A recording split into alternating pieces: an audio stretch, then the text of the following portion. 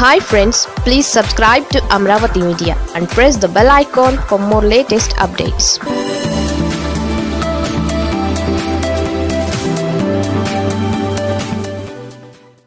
వచ్చి రాగానే ఎన్నికలకు రెడీ అవుతున్న నీలం సాహ్ని.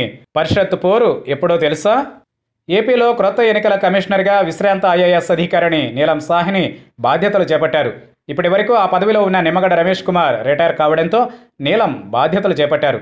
విజయవాడలోని రాష్ట్ర ఎన్నికల సంఘం కార్యాలయంలో ఆమె ఎస్సీసీగా బాధ్యతలు స్వీకరించారు. అనంతరం గవర్నర్ను కలిశారు.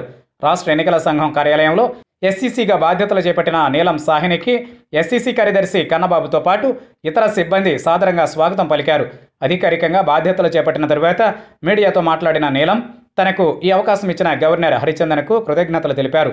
స్థానిక సంస్థల ఎన్నికలు స్వేచ్ఛాయుతంగా పారదర్శకంగా నిర్వహించేందుకు కృషి చేస్తానని ఎస్సీసీ నీలం సాహిని పేర్కొన్నారు. రాష్ట్ర జిల్లా అధికార యంత్రాంగం సహకారంతో ఎన్నికలను నిర్వహిస్తామని అన్నారు. ఎస్సీసీగా బాధ్యతలు స్వీకరించిన నీలం సాహ్ని ఐదేళ్ళ పాటు ఈ పదవిలో ఉంటారు. విజయవాడలోని రాష్ట్ర ఎన్నికల సంఘ కార్యాలయం నుంచే ఆమె బాధ్యతలు నిర్వర్తించనున్నారు. నీలం సాహ్ని అంతకుముందు ఏపీ ప్రభుత్వ ప్రధాన కార్యదర్శిగా పనిచేశారు. పదవీ విరమణ అనంతరం సీఎం జగన్ ప్రధాన సలహాదారుగా నియమితులయ్యారు. ఇప్పుడు ఎస్సీసీగా ఎంపిక కావడంతో ఆ పదవిని వదులుకున్నారు. ఆమె ఆధ్వర్యంలో పెండింగ్లో ఉన్న పరిషత్ మున్సిపల్ ఎన్నికలతో పాటు సహకార ఎన్నికలు కూడా జరగాల్సి ఉంది.